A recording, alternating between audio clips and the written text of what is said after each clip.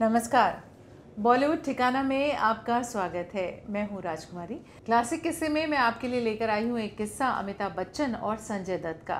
संजय दत्त, जो बेटे थे सुनील दत्त के द लेजेंडरी एक्टर कमाल के एक्टर थे, कमाल के इंसान थे was a great human being उनके बेटे हैं संजय दत्त साहब, जिन्होंने फ़िल्मों में रॉकी से एंट्री की थी, लेकिन वो काफ़ी बाद की बात है।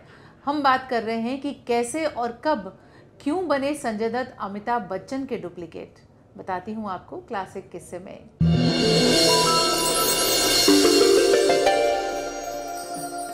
बात तब की है यह किस्सा तब शुरू होता है, जब सुनील दत्त चाहते थे कि उनका बेटा संजय दत्त भी फ़िल्मों में आए और कुछ फ़िल्मों के बारे में सीखे।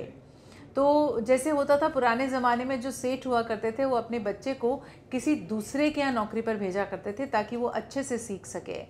कुछ ऐसा ही दत्त साहब ने किया कि instead of launching him as a hero वो चाहते थे कि वो पहले उसकी फ़िल्म की बारीकियों को सीखें।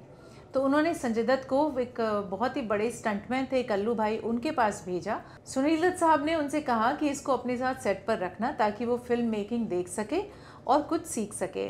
संजय दत्त साहब की जो तैयारी थी, जो एक उनकी परवरिश होनी थी, वो शुरू हो गई।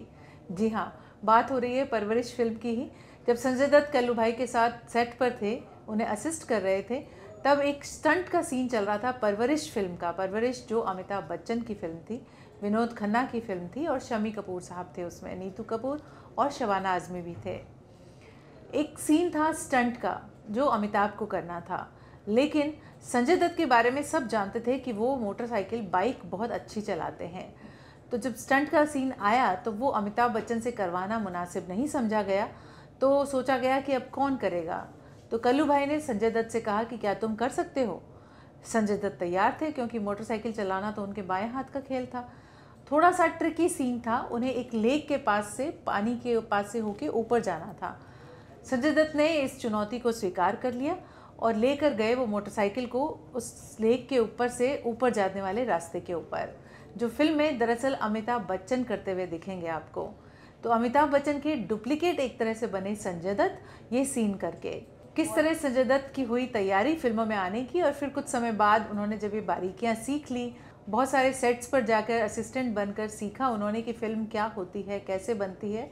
फिर उसके बाद सुनील दत्त साहब ने लॉन्च किया संजय दत्त को फ़िल्म रॉकी में।